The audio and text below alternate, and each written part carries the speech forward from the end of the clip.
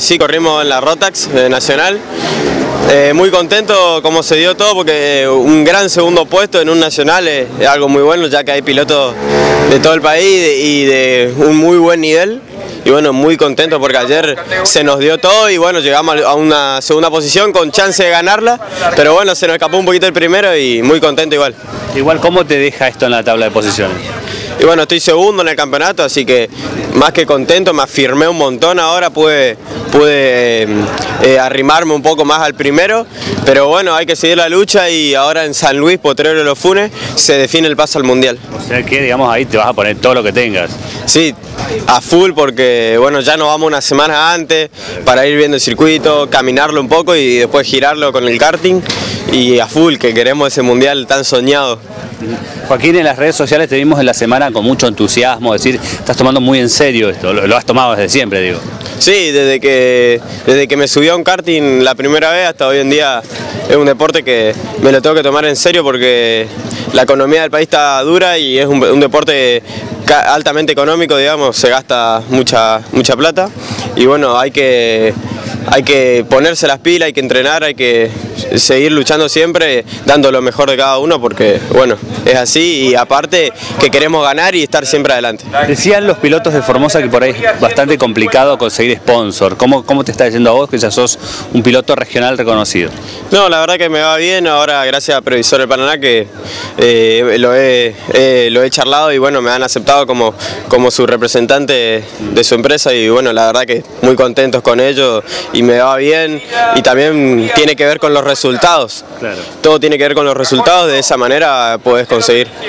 Pero imagino que como todo piloto corres por, por mismo, no por los sponsors más que nada, ¿no? Por amor al deporte. Obviamente, tengo un amor tremendo por esto hace seis años, eh, no, me, no me bajaría nunca, correría hasta los 80 si podría, y la verdad que es algo que me apasiona un montón, y, pero necesito la ayuda de ellos también.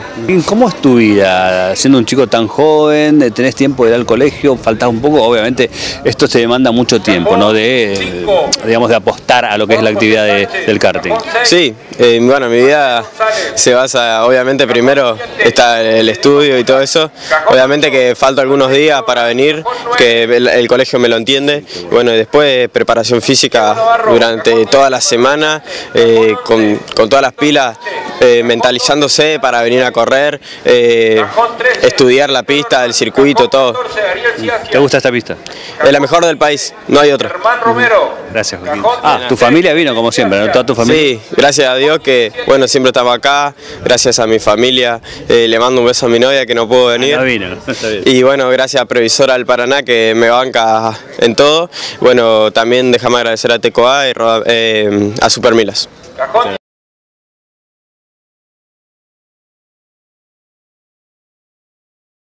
Es un proyecto que lo hemos presentado con la diputada Alejandra Andraus.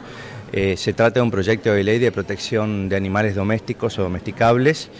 Eh, quiero primero aclarar de que eh, fueron las asociaciones protectoras de animales de aquí de Formosa las que han impulsado este, la necesidad de contar con una ley de protección animal. también otras provincias ya la tienen, Corrientes, Chaco, Santa Fe, Buenos Aires y otras. Y bueno, es un cambio de paradigma también porque ya el, derecho va dotando, ¿no es cierto?, de, este, toma los animales como sujeto de derecho no humano y también con, eh, y con derechos. Entonces, la necesidad de contar aquí en Formosa también con una ley que, que, regule y también el deber de cada uno de nosotros, de los habitantes de Formosa, de cuidar a los... A los eh, esto se trata principalmente para los, eh, para los caninos, para los felinos y, equinos. En, este proyecto también se contempla eh, la prohibición de la atracción a, sangre en, el, casco urbano em, y, y, por supuesto también prevé sanciones para las personas que maltraten a los animales, que lo tengan en un estado de desnutrición, etc. Le dota de legitimación activa también a las asociaciones protectoras de animales debidamente este, que estén con personería jurídica, debidamente registradas, y se establece también, bueno, que en su caso el Poder Ejecutivo establecerá cuál es la autoridad de aplicación eh, para ello. La idea justamente es la protección de, los animales domésticos, es evitar el, trato cruel hacia los, hacia los animales, que se establezcan estas sanciones que son multas, pero más allá de la aplicación de un código penal o, del, o, también de la legislación civil eh, al, respecto. Entonces, eh, la idea es trabajar en conjunto eh, con la Asociación Protectora de Animales y, bueno, y, también con los, con los legisladores para impulsar este proyecto de ley. El aspecto de la tracción a sangre es un aspecto bastante controvertido y que va a traer seguramente mucho debate a nivel provincial. ¿no? Sí, por supuesto. Por eso lo que hemos, y generalmente se da en, bueno, en, los tiempos de hoy, la prohibición de la tracción a sangre en los cascos urbanos, no así en los semiurbanos, en, en los barrios donde, o rurales.